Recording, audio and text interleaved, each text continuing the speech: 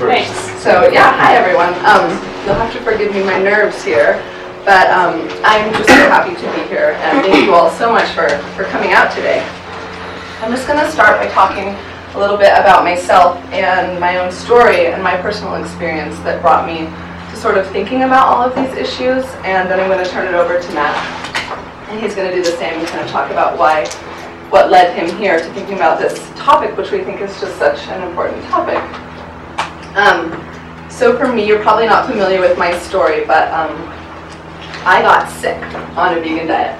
I got very, very sick. And at the time, I was eating a diet that I thought was very, very healthy. And it's something that um, a lot of leaders in our community were telling me was a very, very healthy diet. Um, and I still got sick. And I got so sick that I almost stopped being vegan. Um, I was almost an ex-vegan, this close.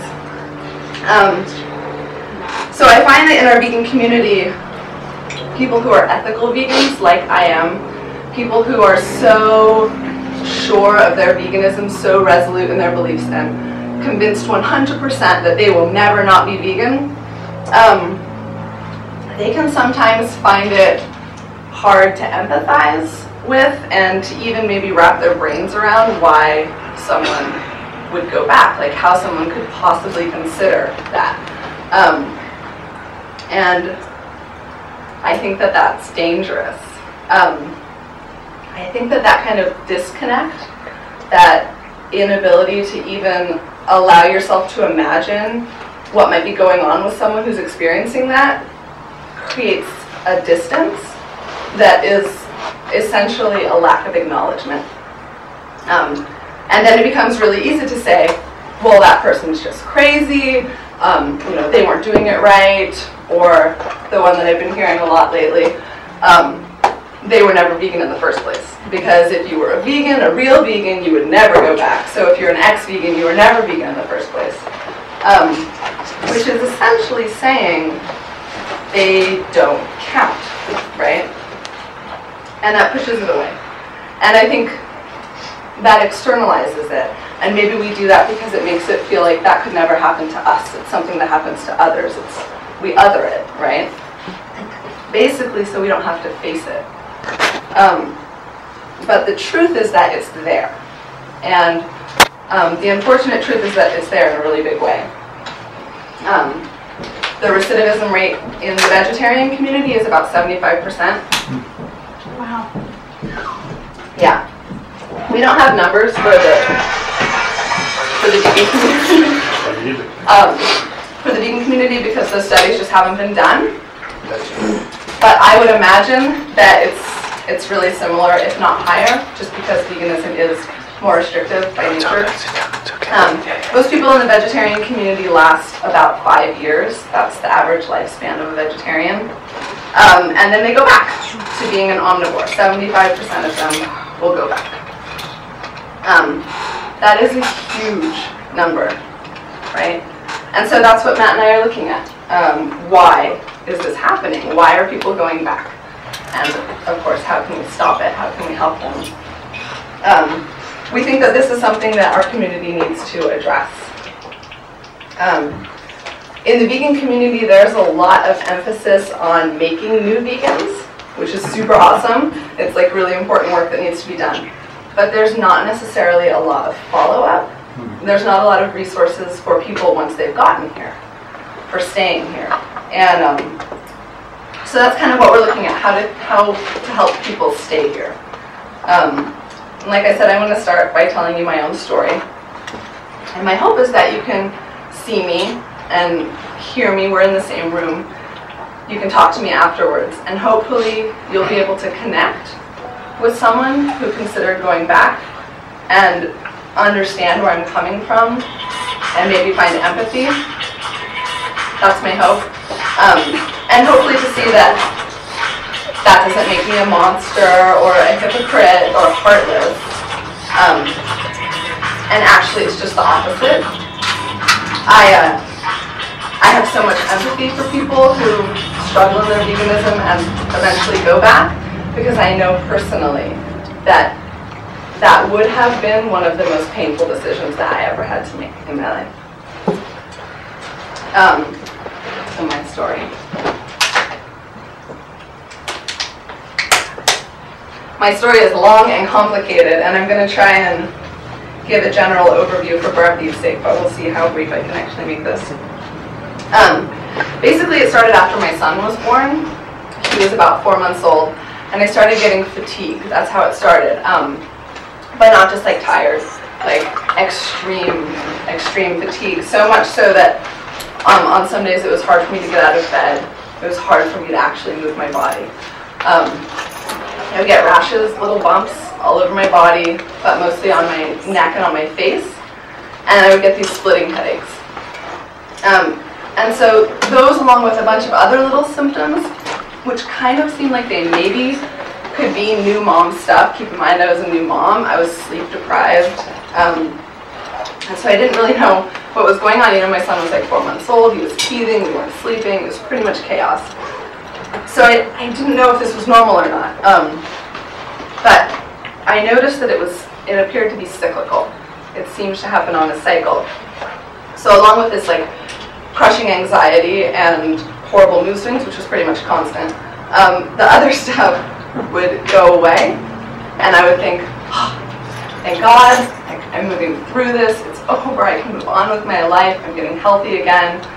I can actually focus on my kid. And just when my hopes would start to raise, it would all come back. And that is crushing. Um, having my hopes raised, and this is something that happens to a lot of people who are sick. They start to get better, and then they get worse again. And then they start to get better and worse. And that up and down, that sort of roller coaster, is so psychologically damaging. It just wears you down. It, it's so emotionally difficult. So that went on for months. Um, and first I went to my midwife because I thought it maybe was new mom stuff. And I told her what was going on and she basically blew me off. She said, yeah, yeah, it sounds pretty normal. And kind of gave me the brush off. Um, so from there, it didn't go away. And so I went to an MD, just like a general practitioner, a Western medicine doctor. And he heard all my symptoms and my situation. And he suggested that perhaps I had picked up a virus one of these little like mild viruses that's really common in babies and toddlers and basically it was the same thing. He basically gave me the brush off. Um, and even when I came back to him six months later, um, and it was still happening, still on a cycle, like half a year later, and he still just brushed me off. So it kept going on for months, for months, and for over a year I was suffering like this. Um, my dad is a Chinese medicine doctor, and so I would talk to him about this, and he would say, and he always speaks in terms of Chinese medicine, he would say that my chi was weak, and that I was depleted. And would I please just drink some bone broth? A little bit of meat. He would say, just a little bit of fish. so clearly, nobody was willing to help me. No one was able to help me. And I felt completely alone. And, you know, on top of this, I'm a vegan blogger. I'm like a life, I'm a pretty popular lifestyle blog. So I have all these people looking at me. I had just released a book. I'm a vegan book. I'm an author. I'm sort of public in this community. And so I felt like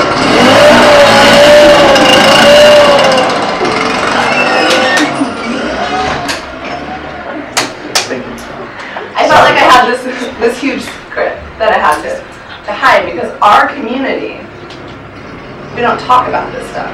We're supposed to present ourselves as a shining beacon of you know optimal health at all times. We do not have a culture of talking about this kind of stuff in our community. And so I felt like a I felt like a fraud. And because of all of that, I became incredibly depressed so incredibly depressed. And I hated myself, literally. I hated myself. So luckily in the spring of 2012 I saw a naturopath. And for the first time, someone sat down with me and looked me in the eyes and said, oh my god, you're sick. This is 18 months in. You're sick. Let's help you. And she did. She ordered blood tests. Like, shocking. So she ordered blood tests, and this is the long story short. I had extremely low cholesterol. And a lot of people don't realize that that can even be a problem because in the mainstream culture we're taught that like high cholesterol is bad, and so we just assume that low cholesterol is good.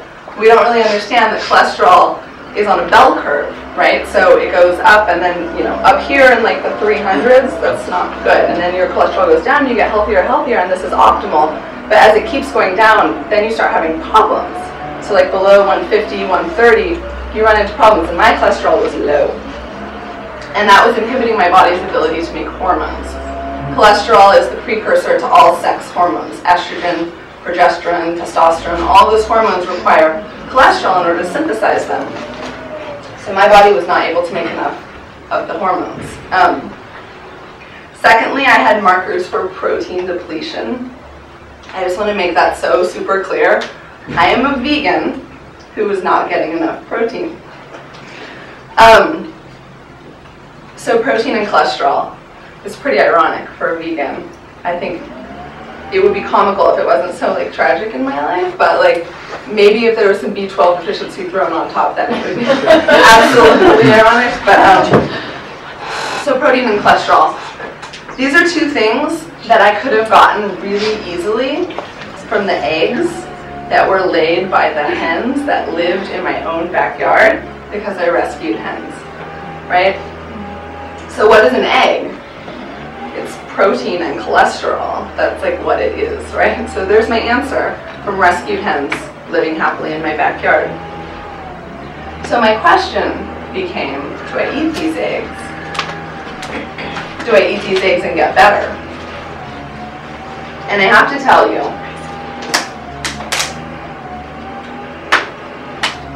I was so pissed I, I was so angry at all of the leaders and all of the vegan doctors and all of the gurus who told me that I was eating the healthiest diet on the planet. And all of these people told me that I was doing the right thing, and no one warned me that this could happen. No one warned me about this. And I was so furious.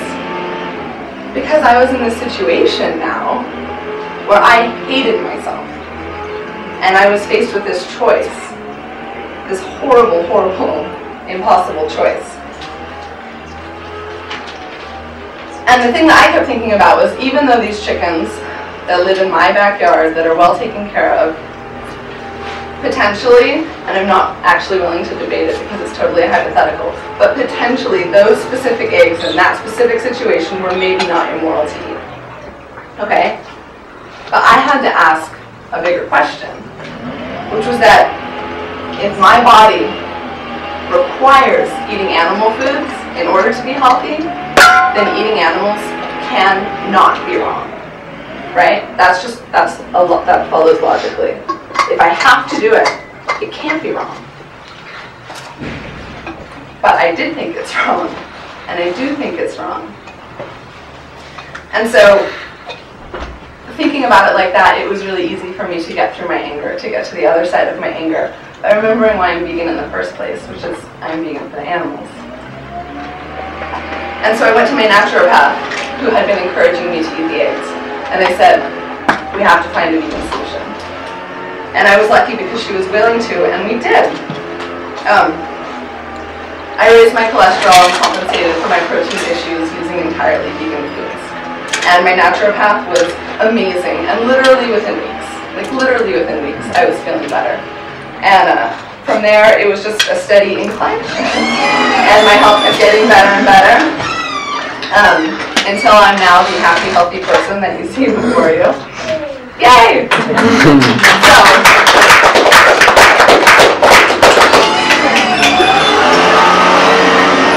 so my story has a happy ending. But here's the thing about my story, and this is something that I think is so important. I am an incredibly stubborn person, and I'm also the kind of person who is very comfortable with the idea of doing my own thing, kind of forging my own path. Um, and looking at this issue, I realized that not everyone is like that, right? Like, I'm a nonconformist. Not everyone is nonconformist. I am a nonconformist in everything that I do, pretty much. I do it my own way. But not everyone is like that, and that's okay. Like, this isn't a value judgment. I'm not saying I'm better than them and they're worse or vice versa. It's just different personality types. So I'm really aware of that. And really aware that if I were less used to like bucking convention, I might have made a different decision. Like I might have listened to my doctor. I might have listened to my father. You know? I might be in a very different position. So going through that whole experience, um, well, for one, it's left me very humble. And it's also given me, I think, a lot of insight and a lot of empathy for people who end up going back for whatever reason.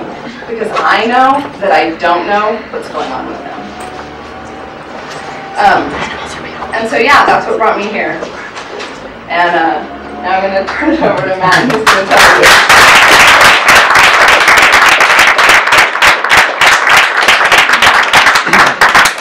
Hey everyone, thank you so much for being here, and, and thank you, Sayward, for you know sharing your stories. Like it's definitely not easy, um, and I'm fortunate to be working with Sayward and to be thinking about this.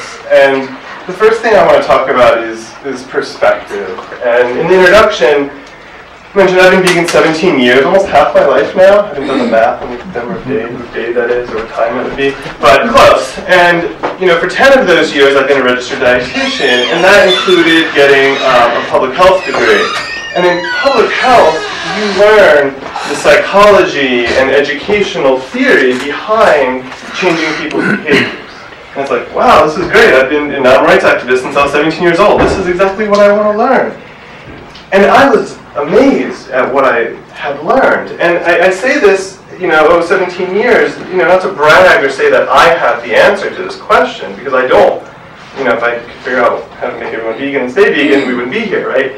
Um, but I've gained perspective because I've seen a lot of people come and go. And I see a lot of people convinced that they're right, which is hard because it's like nutrition. Um, in the nutrition field, I see a lot of things, even from experts and people that those of us in this, a lot of us in this room probably quote, that I don't quite agree with because they're drawing conclusions that are really strong from evidence that isn't as strong. And that's dangerous. You know, have you ever heard a vegan say, oh, you don't want to get a heart attack? Just be vegan, right? Well, that's not the case, right? Or cancer-proof yourself. In someone's book, does anyone know any, any vegans with cancer? It's like, yeah, we do, right? And so we have to have a perspective on this, and we have to be sort of realistic because you can't say that you know the answers or you know for sure what what the science says and how you can change people's behaviors. And so if you're in this room and, and you're a vegan, you're part of a very small minority. You know, the numbers are always changing, so it's hard to figure those things out. Back to the science, how do we know? But what's the, what are the ongoing numbers for a percentage of people who are vegan in the US? It's like, yeah, between like 1 and 3%. It's a really small minority.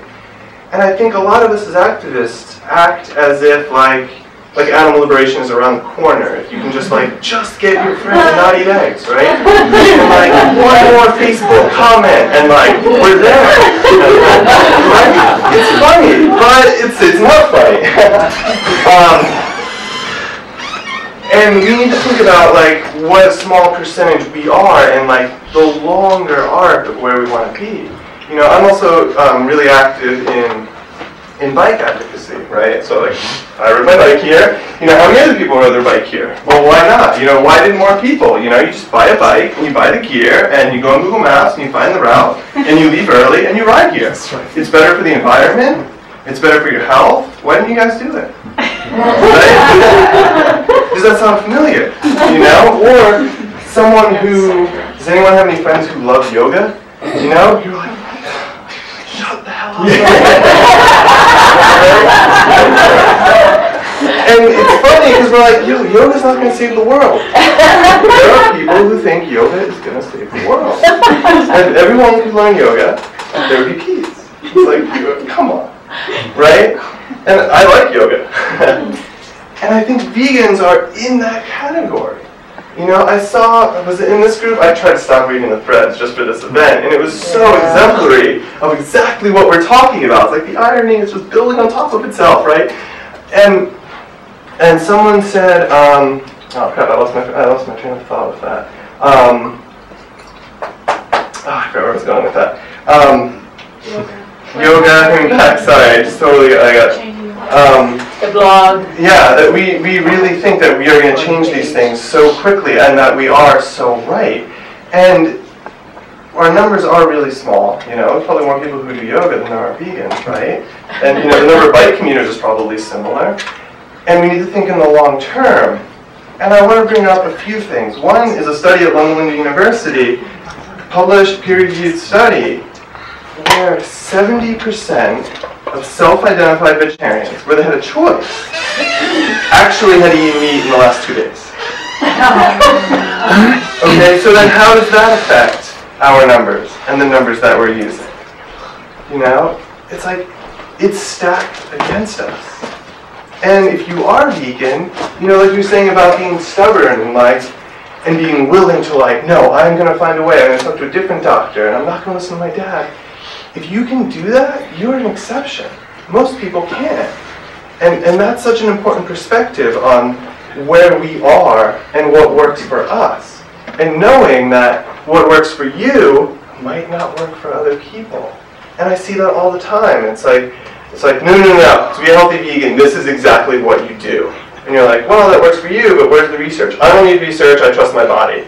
You know, like how often do we see that, right? And it's stepping back from that and saying that, well, actually, there are probably a variety of things that can work. And do we have that ability to step back outside of our own experiences to look at what may or may not work for other people? And then that relates to expectations. We put huge expectations on what will happen when someone goes vegan, right? The energy, it's incredible, right? Like, is that going to be everyone's experience? And deep down, is that your own experience? Or are you just really excited about it? Confuse these things. So I've, I've recently done a lot of research on cacao, right, the bean that chocolate's made from. And if you look to at raw food folks, um, you know, cacao is like drug-like, you know, and it's this, you know, they're like, look at the evidence, it's so spiritual, and there's like so much. And so I really, I had an opportunity um, to spend a lot of time looking at the research on cacao, and there's a lot. I mean, thanks to a professor at Harvard who's been looking at this for like 20 years, there are, there's a lot of research on cacao. And do you know what it is? It's the caffeine. theobromine. These actually, sure, it affects people's brains. Yeah, it's freaking caffeine, right? And, and so the reason I bring that up is most people who become vegan are very excited about it, right? And you're like, holy crap, I'm going to save the world right now. I'm going to save animals. You know, just wait until they read this comment. It's the best comment that has ever been written. you know, and and you step back, and I, and I say this, and it sounds kind of pessimistic, right? You know, look, we're only like a 1% minority, and we're not going to see animal liberation anytime soon. That's, that's pessimistic in a way, but it's also like realistic. You know, when we give people unrealistic expectations, they're going to fail. And so if you say you're going to have ton, tons of energy, you know, when I do my vegan athlete talk, I'm like, I'm very careful. I never say if you're vegan you can run 100 miles like Scott Jurek, because that's not the case. I think Scott Jurek could eat whatever the hell he wants and still be just as good. I'm not totally convinced that it's his vegan diet. That's just the reality because we can't really prove that. And the actual amount of research on vegan and their health outcomes is really small and really limited. And a lot of what people are quoting is like, has been taken out of context many times that you can't really say it anymore. And I, see this a lot with activists, and I see a lot of a lot of sort of conflict between, for lack of better terms, you know, health vegans and ethical. And I think someone on the comment page tried to like, oh, there's a distinction. If you were never an ethical vegan, you were never really vegan, that sort of thing. And I don't think that matters as much because if someone is eating a diet that's vegan or a predominantly vegan diet, how they feel and their health outcomes is important to us. And I think I wrote this somewhere on the page, is that a lot of people who stop being vegan then become spokespeople against it. And that's really dangerous. And if we look at some of the like health gurus that have gone back, let's name any names, you know, the things that they're saying, it's really bad for the image of veganism. And it's like, well, why did they have that experience? You know, one theory, and again, Sayward and I are just like kind of theorizing on this, is that people are over-restricting. And I see a lot of the, you know, about these debates about oil. Should they have oil? Should they not have oil? You know, we're not really sure, and it depends who it is that you are talking about. You know, and I think that food, veganism compared to say, you know, anti-sweatshops activists is very different because it's something you do every day, and it's something that affects your health. And we tend to, another theory, so I'm kind of jumping around here, is that a lot of vegans don't have training in activism. So there's a lot of energy, like, I'm going to change the world, without the outlet for it. And it's something, I mean, we're considering if this could become a book. This whole, like, you know, ex-vegan phenomenon. Can it become a book? And, and one of the things, if it does, in our, like, very hypothetical outline, is do vegans need training in activism to have an outlet so that we're not annoying vegans? because when you don't have an outlet, suddenly, you know, I read someone really posted, you know, someone posted a complaint, oh, I hate that my meat-eating friends post about, post, you know, photos of their dead animal dinners. And someone's like, well, what I do is I just leave a comment every time reminding them of the animal that died. like, yeah, I'm sure that's really effective. you know? Back to the yoga thing, right? Well, if you just did yoga, you wouldn't have these health problems. You know, would anyone go, wow, I'm going to do yoga. Thanks so much, crazy yoga person. Facebook comments. It's, I think we can learn a lot from that. Because I think vegans sometimes are like real life internet commenters. You know? And I don't mean to be overly harsh about it, because trust me, I'm just as passionate about it as, as you probably are. But like, we need to look at these things. Um, let me check my notes here. Secondly, thirdly, whatever I'm on, um, building off of being an exception, right? If you're willing to go against what most people do, you're an exception. You know, so that's true for veganism, it's true for cycling. A lot of people who bike commute have a poor, poor have a bad experience that can almost kill them. And then it's easier to go back to driving a car. If you're going against what everyone else is doing, you automatically have to work harder. And when people say, oh, going vegan is easy, most of those people have been vegan so long that they don't realize all the work that they did. I don't think going vegan is easy. It is for you. It is now. You say, oh, you just order this instead of that. You just get rid of all your clothes and you buy all these new things from this place called Moo Shoes, you know? And it's like, yeah, you have gained information and you've acted on it. But to tell someone who doesn't have that information, doesn't have that perspective, that it's easy, I think is misleading. I taught community college for uh, five years here in Los Angeles. You wouldn't believe how little people think about food.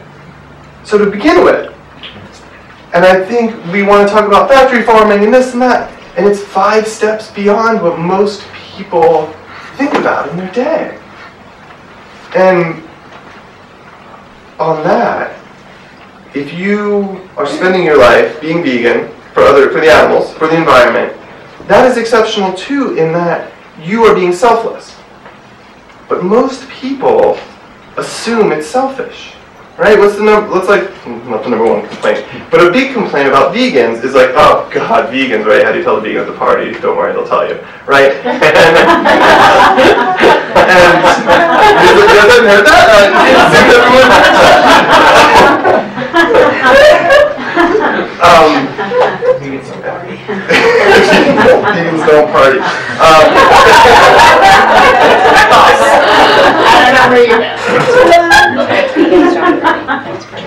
um, most people. Can we open that? No, that. Uh, no, the thing stop Um,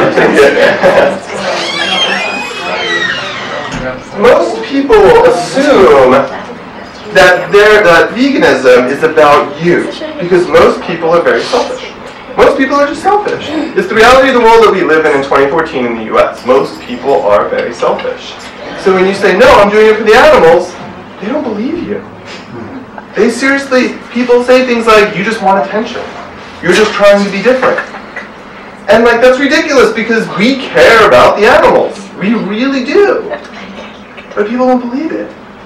And it's like, that is a barrier. That is a humongous barrier. And so, like, how do you approach that?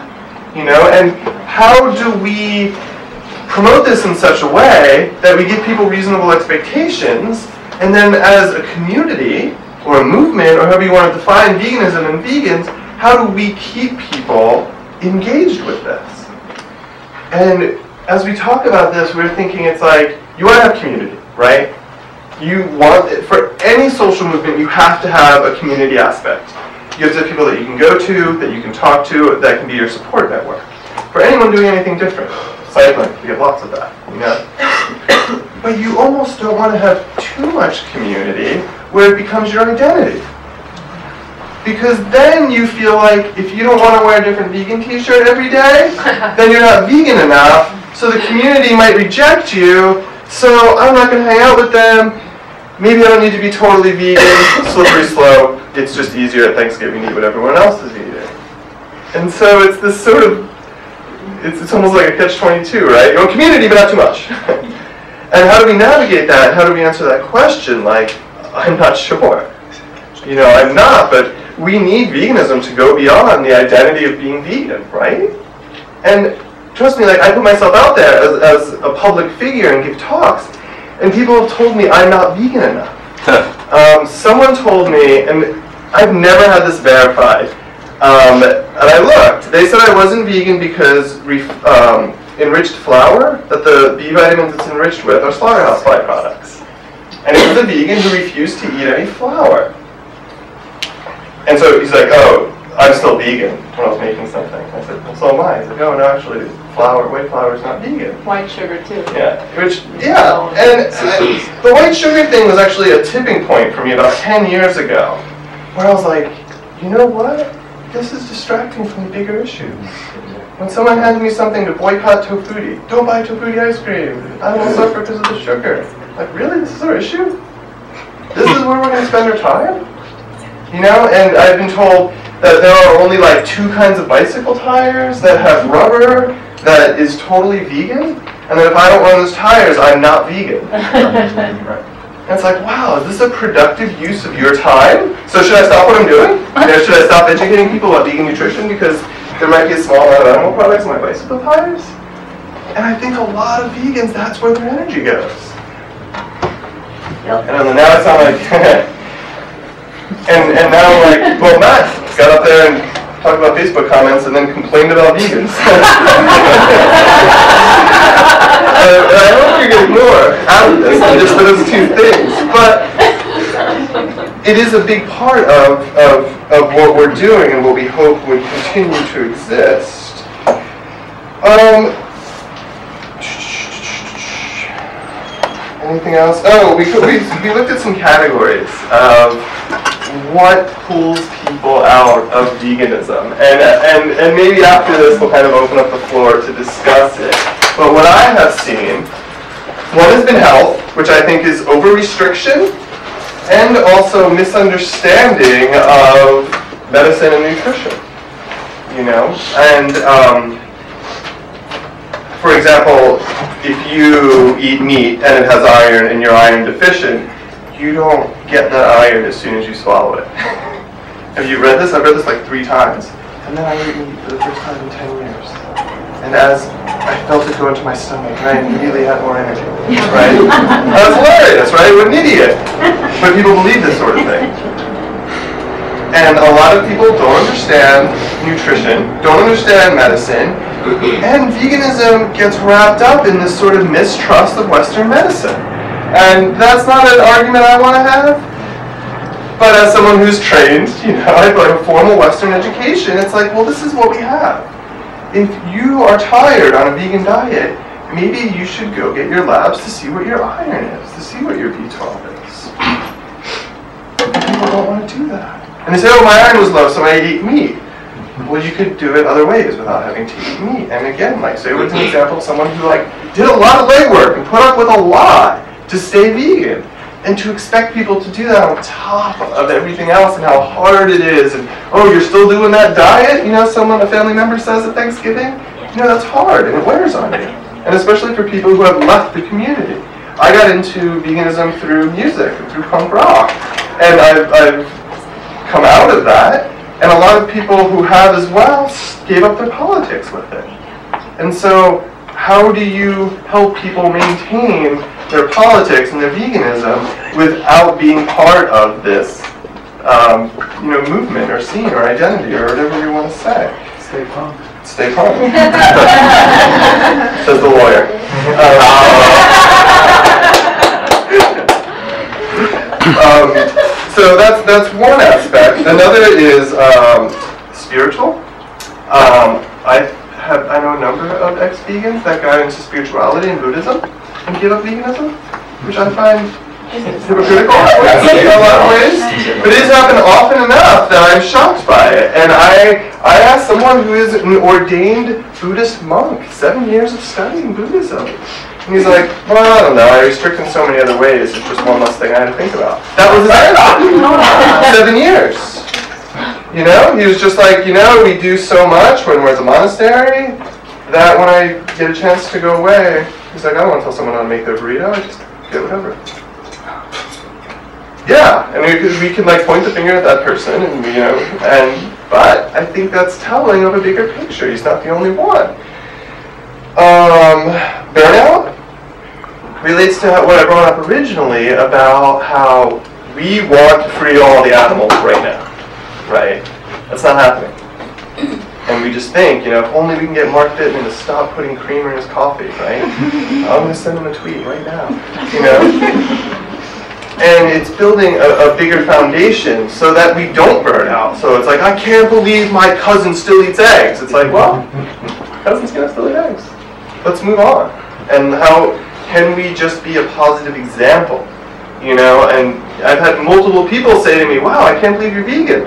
And I said, oh, why? And they're like, well, you don't talk about it incessantly. and maybe the argument against that is I could have had an opportunity to educate people and I didn't because I was quiet about it. But on the other hand, just being a quiet example of a healthy vegan. And then having an outlet for activism so that you can do those things. So that you can feel like your energy is going towards something. And that way every single meal that you eat doesn't turn into activism. Right? Social, spiritual health, burnout, the last thing I have on here um, that sort of sums up a lot of, of what I, I think about this topic is that it's important to take yourself seriously, but not too seriously. You know, that's kind of something that I live by. It's like, okay, this is serious. Like, I spent seven years studying nutrition. I need to take myself seriously as an expert on this so that I can educate people about veganism. But I don't know everything. I can't take myself too seriously. And, and I think that that's a lesson for a lot of people, and I see a lot of people around me who I think can learn from that. You know. So that is my part of this. Um, we would like to open this up and have a civilized discussion.